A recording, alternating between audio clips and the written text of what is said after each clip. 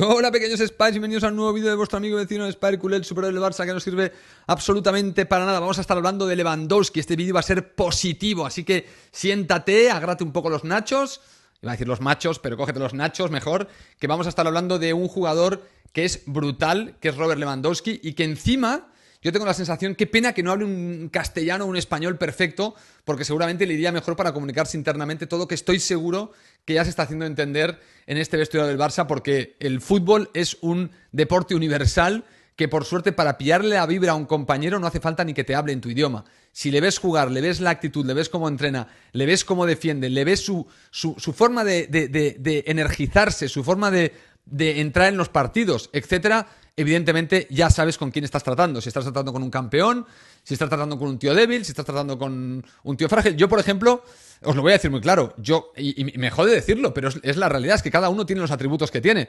Yo soy un mierdas jugando al pádel, pero soy un puto mierdas. El otro día jugaba con un tío de sesenta y pico años y, y le dije, tío, vas a perder porque yo últimamente lo pierdo todo. Y me dice, lo pierdes todo porque eres flojo de cabeza. Y porque he jugado muchas veces ya contra este tío y con este tío. A veces hemos ganado, a veces yo le he ganado. De hecho, en el último partido a él le gané, jugué contra él y le gané de forma bastante apabullante. Y el otro día me tocó con él y yo venía decaído porque venía de perder dos o tres partidos seguidos de pádel y, le dije, tío, vas a perder porque vengo, vengo en una espiral que flipas. Y me dijo, esto, ¿no? Me te pasa porque eres flojo de cabeza. Y me jodió, pero pensé, pero tiene razón, tío. Soy flojo de cabeza. O sea, yo no soy un Lewandowski jugando a pádel. Soy flojo, tío. O sea, no, no creo muchas veces en mí mismo, me, desmorono. En pleno partido de repente cometo dos errores y me desmorono. No soy capaz de dejarlo pasar y, volver a, los a, la, base fundamental, recuperar la confianza haciendo lo básico bien. Y, no, no, ya empiezo a hacer el subnormal, le empiezo a pegar demasiado fuerte, quiero matar todas las pelotas y ya me vuelvo loco. Y entonces me vuelvo loco y entonces entro en una super espiral de errores. Yo no sería un buen ejemplo para un vestuario, por ejemplo. Yo no soy, ni siquiera soy un buen ejemplo para mi pareja de pádel. Cuando juego con alguien al lado y me pongo en este modo, eh, soy muy mal ejemplo. O sea, ni, ayudo, ni me ayudo a mí ni le ayudo a él.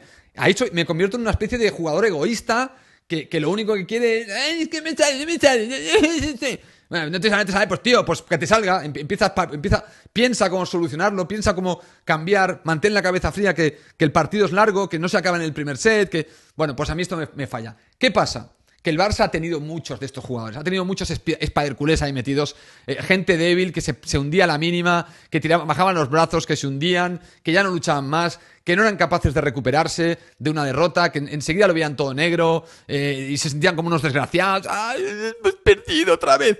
Bueno, señores, Robert Lewandowski no es de esta estirpe de personas y por eso está donde está.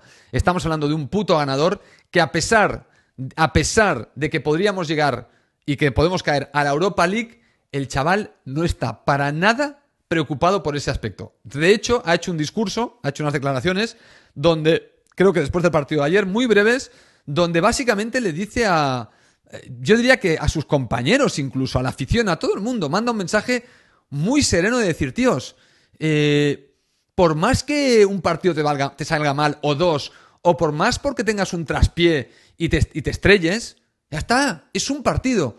Hay que seguir hay que levantarse, hay que seguir compitiendo, las competiciones son muy largas, no se acaban por una derrota y hay que olvidarse de esa derrota y seguir trabajando y haciendo lo que sabes que tienes que hacer para sacar los partidos adelante. Ha dicho que cree que tiene un equipo, el Barça, con muchísimo potencial y que por lo tanto él le, dice a la afición que van a intentar seguir marcando goles y seguir compitiendo como lo están haciendo contra el Villarreal y contra el Athletic Club, porque parece que en estos dos partidos hemos recuperado un poco la inercia que traíamos antes del parón de selecciones y verdaderamente le ves la cara a Lewandowski en estas declaraciones y le ves cómo habla y, ves a un tío totalmente como asentado, un tío como con pozo, ¿sabes? Como con, fundamentos, con fundamentos sólidos, con, unas vigas ahí puestas en su material deportivo eh, que dices, hostia, este cabrón está sobre terreno firme, este tío no se está tambaleando, este tío no, no, tiembla ni se hunde por una derrota, este tipo, hay una derrota y lo, que quiere es que venga el próximo partido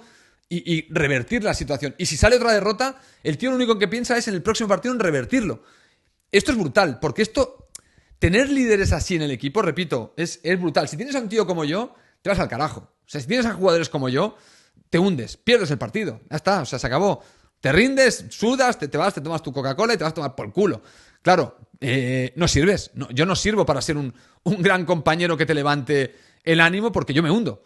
Y entonces te, te hundo conmigo. Como tú no seas un poco fuerte, te, te, vienes abajo. Ahora, si tú eres un mega líder, que esto me ha pasado también jugando al pádel, que yo me hundo, pero al lado tengo un tío que, que, está hecho otra pasta, pero no porque hable por la boquilla, porque le ves la energía. Recuerdo jugar con un, con un tío que era bastante bueno y estábamos perdiendo y me acerqué y, estábamos perdiendo porque yo estaba metiendo unos errores de cojones y este tío es el típico tío sobrado. Ese es un tío que va, le ves jugar y, flota por la, por la pista. O sea, el tío va, eh, bueno, a, a todas, casi no corre, se mueve con una fluidez, lee perfectamente dónde va a ir la pelota, confianza, le pega todo, tam, pim, sabe lo que tiene que hacer, pam, pum, pam. Bueno, me acerqué a él cuando iba a sacar, porque había fallado dos seguidas o tres yo y estaba desquiciado, y me acerco y le digo, tío, ¿me das algún consejo? ¿Sabes lo que me dijo? Me miró con esa cara de pillo que tiene, porque es un tío pillín, es un tío que, que no es bisexual, pero, pero está co coquetea hasta con las plantas este cabrón, porque es de estos tíos que tienen este, como decimos en Cataluña, este taraná que va de, de, de, como la vida es una fiesta para él. Él está en, el Chiqui Park, tío. O sea, el, el, mundo es el puto Chiqui Park para este señor, ¿sabes? Y entonces te mira, y, no es un tío ni guaperas ni nada, pero te mira con esa cara de pillo, de, de casi que te dice, mira, no te como la boca porque no me sale la polla, pero si no, te comería la boca y te dejarías, ¿sabes? Es de estos tíos que, sin ser gay, te mira así. Te mira como diciendo, si quisiera, te comía la boca. Y además tú me seguirías. Y lo piensas y dices, qué cabrón, yo creo que si, te me tiras a la boca me daría un asco que te cagas, pero te sigo por, por la. porque noto la energía y, y, me sometería. Me sometería a ti. Claro, este tío seguramente ha follado como lo que no está escrito, porque evidentemente un tío que va con esta actitud por la vida se come hasta lo que sea, ¿no? Bueno, para hacer el cuento corto, me acerco al pavo, me acerco al pavo. Y todo, así como un perrito mojado en la puerta de la casa del dueño. Déjame entrar. Todo, todo, todo, compungido, todo hecho una mierda, todo, todo agarrotado. Además, iba como medio jorobado, como, arrastrándome por la pista me acerco al chaval y le digo, tío, dame algún puto consejo, loco, porque estoy fallando todo. Y me mira con esa cara de come bocas y me dice, enjoy. Y se empieza a reír. Pero no es sonrisa exagerada, sonrisita. Enjoy. Como diciendo, me la suda tres pollas que estés fallando todo. Me importa tres pitos. O sea, haz lo que puedas, loco. Ya intentaré yo solventar. Yo solvento el tema. Tú haz lo que puedas. Tú sigue fallando, no te preocupes. Esto lo, lo voy a levantar yo. ¿Sabes? O sea, tío, me miré y me dijo, enjoy. ¿Sabéis la de veces que me acuerdo ahora cuando estoy jugando y me sale todo mal?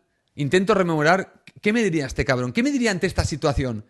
Me diría, tío, este puede ser la última partida de pádel de tu vida. Tienes 51 años, amigo. O sea, hay mil, mil, hay una película del Jeff Bridges, 8 millones de maneras de morir, de los años 80, o, sí, 80, principios de los 80, muy buena, por cierto.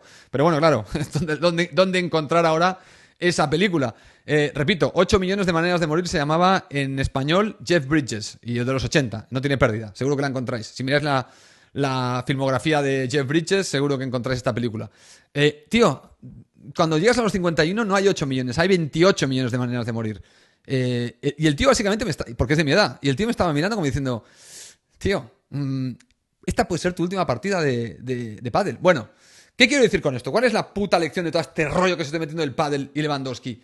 Claro, que tener jugadores así, como este que te mira y te dice enjoy, en lugar de decirte, no, sí, pues dobla las rodillas, pues, no, como hago yo cuando alguien me pide consejo, porque a mí a veces juego, por ejemplo, esta mañana he jugado con alguien que era peor que yo y me ha pedido consejos y le he estado dando consejos todo el rato. Tíos, ahora lo pienso y digo, ¿sabes cuál es el consejo que le tienes que haber dado? Enjoy.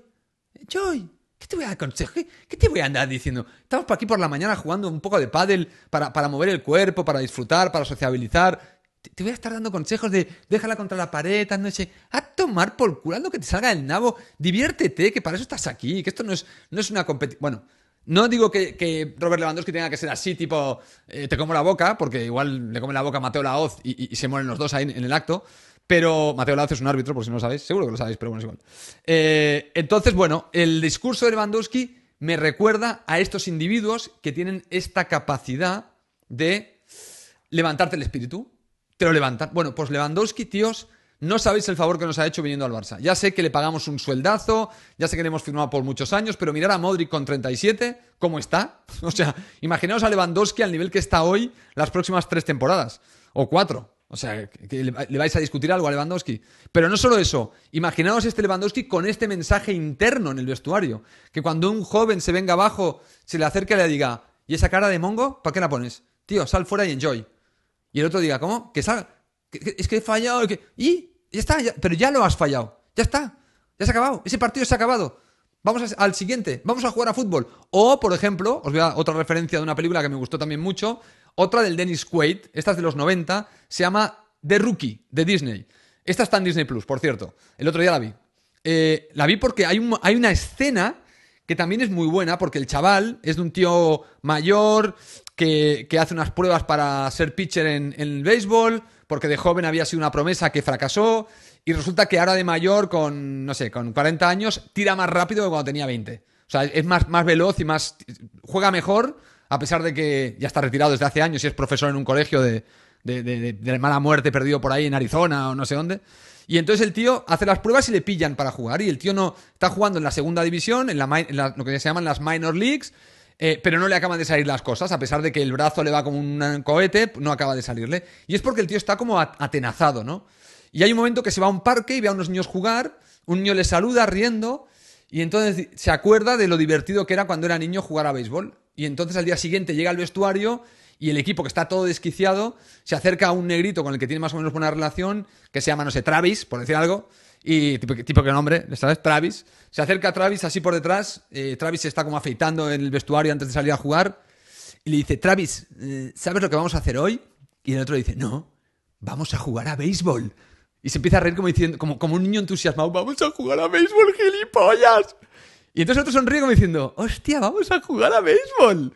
¿Qué gilipollas? ¿Y por qué estamos tan tensos? Si vamos a jugar a béisbol, tío. Bueno, esto es lo que creo que Lewandowski genera dentro del vestuario. Es esta sensación de, hostia, puta, este, este, vamos a jugar a fútbol, cabrones. Vamos a jugar a fútbol, espera, en el mejor estadio del mundo. El, Fútbol Club Barcelona lleno a rebosar con la gente gritando nuestro nombre. El césped como una moqueta. La climatología perfecta, porque ayer, por ejemplo, estaba todo, vamos, clima, todo perfecto. Tíos, somos jóvenes, millonarios y vamos a jugar a fútbol en este pedazo campo.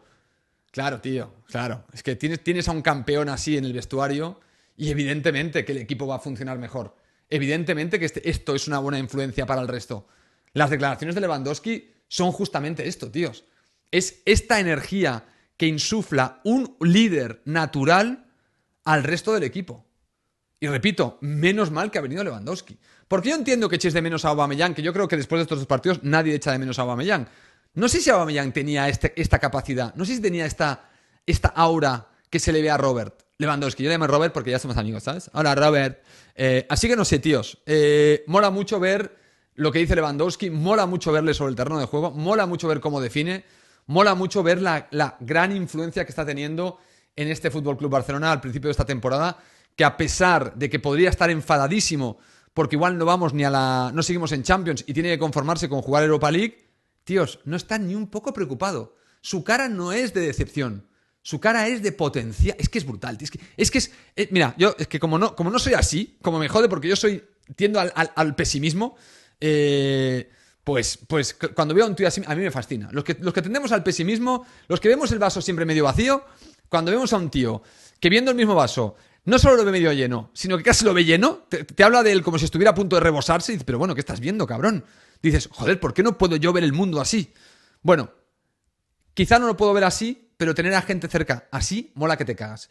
Y tener a Robert Lewandowski en el Barça, que es gente así, a mí me mola que te cagas. No sé a ti, pero este es el mensaje que te quería dar con este vídeo.